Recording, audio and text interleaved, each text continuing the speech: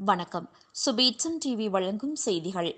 மட்டக்களப்பு நகர் அரசடி பகுதியில் உள்ள ஸ்ரீ மகா பெரிய தம்பிரான் ஆலய வளாகத்திலிருந்து நூறு வருடங்கள் பழமை வாய்ந்த இத்திமரம் புதன்கிழமை ஏற்பட்ட பெற்ற சூழல் காற்றினால் அடியோடு சரிந்து விழுந்துள்ளதை அடுத்து வாகனம் திருத்தும் கட்டிடம் ஒன்று சேதமடைந்துள்ளதுடன் அங்கு நிறுத்தி வைக்கப்பட்டிருந்த மூன்று வாகனங்கள் சேதமடைந்துள்ளது.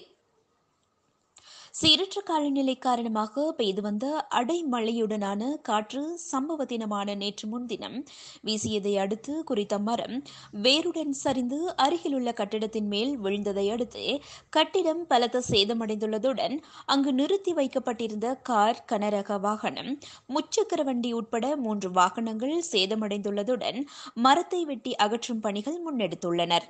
வணக்கம்.